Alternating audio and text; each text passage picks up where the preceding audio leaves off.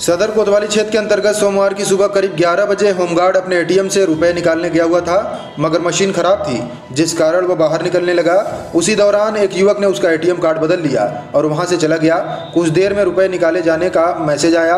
पीड़ित होमगार्ड ने कोतवाली पहुंचकर रिपोर्ट दर्ज करा जाने की तहरीर दी है। मोहल्ला पड़िन दरवाज़ा निवासी बरनेश कुमार पुत्र स्वर्गीय लालता प्रसाद कोतवाली में दिया प्रार्थना पत्र में बताया, सोमवार की सुबह करीब 11 बजे वह दिबियापुर रोड पर स्थित स्टेट बैंक बैंक के एटीएम से पैसा निकालने गया हुआ था। बताया कि उसका खाता स्टेट बैंक ऑफ़ इंडिया में है। मशीन से रुपए निकालने का प्रयास कर रहा था तो मशीन खराब होने के कारण पैसे नहीं निकाल सका। वहीं एक व्यक्ति खड़ा था। उसने कहा कि कार्ड को सीधा करके सही लगाओ। इसी दौरान उसने अपने हाथ में उसका एटीएम ले लिया और पासवर्ड डालने को कहा। पासवर्ड डालने के बाद उसने एटीएम बदल लिया।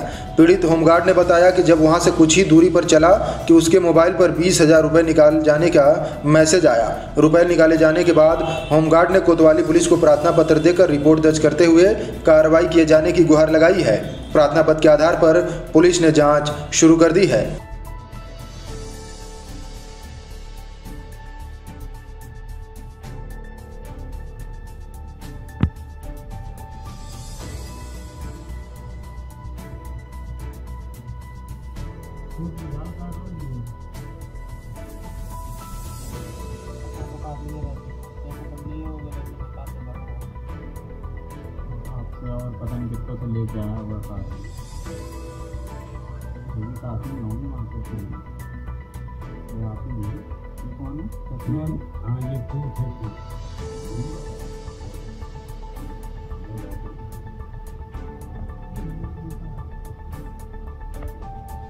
ब्यूरो रिपोर्ट तेजस खबर।